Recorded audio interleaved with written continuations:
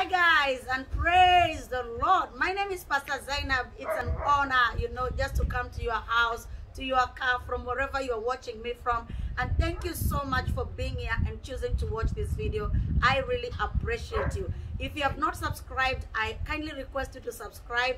You can like this video, you can leave a comment. Let me know how this word has changed your life. Now, today I'm going to be speaking about how to live under an open heaven. All of us, we want our prayers to be answered. All of us, we want the presence of the Lord. All of us, we want victory in the land of the living. All of us, we want everything that seems hard to become easy. All of us, we want to see God in our situation. And today, I'm going to speak about how to live under an open heaven. And when I'm teaching about this, I must say with all humility that I've seen the Lord. The Lord has been so gracious to me. The Lord has been speaking to me. The Lord has walked with me. And for sure, the principles that I'm going to teach you today, they are going to help you to live under an open heaven. What do I mean uh, to live under an open heaven? A place where your prayers are answered, a place where you are encountering the supernatural power of God, a place where God is together with you, that every mountain that looks like a mountain, a place where God is going to level every mountain. So number one thing for you to live under an open heaven, you must be born again. Yes, you must be a Christian. You must connect to the God of heaven, the God that has everything for you, the God that has silver and gold, the God that has everything you want in his hands. So number one, you must be born again. You must give your life to Jesus, you know, and accept Jesus Christ as your Lord and Savior. And now that is the beginning for you to live, to begin living under an open heaven. Number two, when you have given your life to Jesus, the second thing to do for you to live under an open heaven is to be thankful. The Bible says, enter his gates with thanksgiving and his courts with praise. You cannot reach where God is. You cannot connect to God without a heart of thanksgiving. The Bible says, in all things give thanks. When you cultivate a heart of thanksgiving, you will definitely live under an open heaven. Why? Because the Bible is clear. There are two gates to where God is. The first gate is opened with thanksgiving, and then you get into the courts of God with praise. So you've got to learn how to thank God in every situation. It doesn't matter how the situation is. Thank God because He's in charge.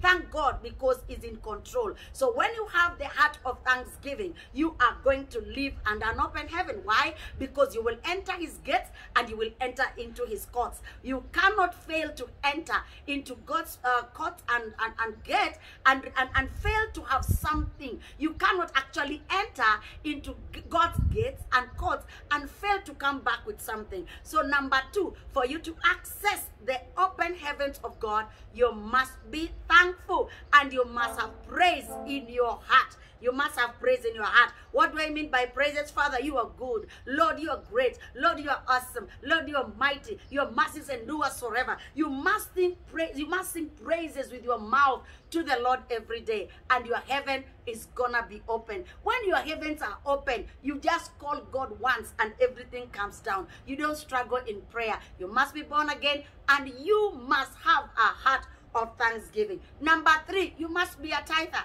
you must be a tither. What does the Bible says? The Bible says, bring all your tithe into the storehouse. Try me in this and see if I will not open the windows of heaven, pour to you blessings that you will not have a place to keep. So if you want to live under an open heaven, you must be a tither. I am a faithful tither. When you are a faithful tither, you live under an open heaven. Why? You are not going to give room to the devourers. Devourers are those things that come to devour our marriage, to devour our children, to devour the work of our hands, to devour our finances. When you are a tither, you are locking away devourers and you are keeping the windows of heaven open for every blessing that God has for you. So number three, you've got to be a tither. Number four, you must have faith.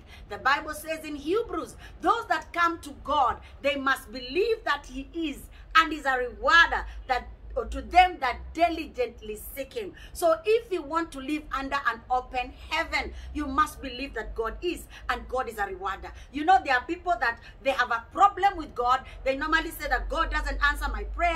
God is not as good as people say. God has allowed me to stay single for long. God is not healing me this sickness. You must believe that God is. And number two, he is a rewarder. He's a good God. He's a rewarder to them that diligently seek him. So you must have faith in God. And the Bible says that we must believe. And if we believe, we shall receive. So you have to have that mentality that God is a good God. God is a rewarder. When I go before the Lord to pray, I am going to receive the answers to my prayer. You are not going to try. You are going knowing that the Bible says, ask and it shall be given unto you so that your joy may be fulfilled. If you want to live under an open heaven, you must have faith in God and faith that God is gonna answer your prayers anytime you pray. Number five, you must um, walk in love.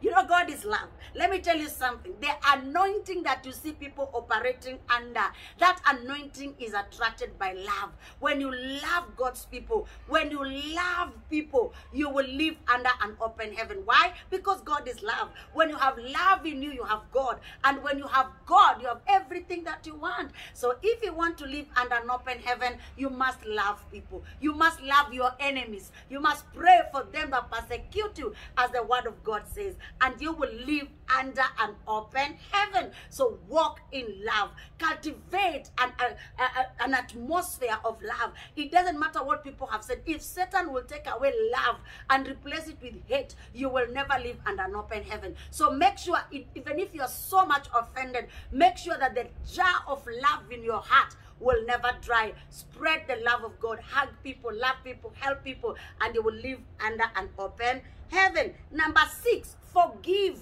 Forgive. What does the Bible says? If you don't forgive, God is not going to forgive you. So in order for you to live under an open heaven, you must be a forgiving person. Jesus said in this world, we are going to be offended. He said we are going to be offended. Actually, he said offenses will come. So learn and train your heart to forgive. Because when you forgive, God is going to forgive you. And you will not have an hindrance to your heavens. Your heavens will forever be open because you forgive easily and you love God's people. Number seven, live a holy life. Stop sinning. Deuteronomy 28 says, If you shall hearken to the voice of the Lord your God and do all that he has commanded you, all these blessings shall come to you. Deuteronomy 28. And there is an outline of all those blessings. Stop sinning. Stop fornicating. Stop lying. Stop sinning, whichever sin. The Bible says, Get rid of sin that easily entangles you. When you live a holy life, I'm telling you for a fact, you are going to live under an open heaven. And Deuteronomy 28 blessings are going to come to you. So, number six, you must live a holy life. You must obey God. You must say, if God is not for it, I'm not going to be for it. I will hate what God hates and I will love what God loves. So in order for you to live an, under an open heaven, obedience. And this I'm saying with all humility. There are Christians who, are, let me tell you something. The devil judges us. The devil accuses us, actually, not judge. He accuses us. And he goes to God and say, how can you give so and so a husband? And he's, he's, he's, he's, he's having an affair with someone's husband. How can you bless so and so and she's not a tither? How can you bless so and so and she's a liar? So, so many people today, the reason why they live under a shut heaven is because of the accusations. How does the devil accuse us? The devil accuses us with our words. The devil accuses us with our actions. The devil accuses us with our motives. The devil accuses us with our intentions. So you make sure that your motive are right, your actions are right, your words are right, your intentions are right because that is the area that the devil accuses us from. If you want to live under an open heaven, make sure you live a holy life. What does the Bible says? Without holiness, no one shall see God. And some people interpret that scripture that is only in heaven. No, even on earth, without holiness, no one can see God. Number eight, pay your vows. Pay your vows. There are people today, remember what Jonah said. When Jonah was in the belly of fish, he said two things. Number one, he told God, I am going to pay my vows. And he began thanking God. After Jonah thanked God and told God, I'm going to, to, to, to, to pay my vows, the Bible says, and the fish vomited Jonah. Jonah came out of the fish because of thanksgiving. He changed his prayer and he began praising God. He began adoring God. He began giving God glory. And remember what I said before thanksgiving and praise. Jonah began thanking God. Jonah began praising God, you know. Jonah began telling God how good God is. And then he said to God, I am going to pay my vows. And the Bible says, and the, and the fish vomited Jonah. So if you said to God, I'm going to do something to you, or even you said to someone, you one day promise someone you're going to buy for them a soda, you promise someone, I'm going to see you after this, and you never saw them, and you never blessed them, and you never did it, please pay your vows, and you will live under an open heaven. And I hear the Lord reminding me about Thanksgiving. And the Lord says the easiest way, even to access whatever you want in life, is by Thanksgiving. Remember how Jesus multiplied the bread. Jesus did not pray a, a big prayer. Jesus just said, Father, I thank you. Because actually, he said, Father, I thank you. And he placed the bread down, and the bread and the fish were multiplied. What am I saying? Thanksgiving. Thanksgiving opens heaven like just like a twinkling of an eye.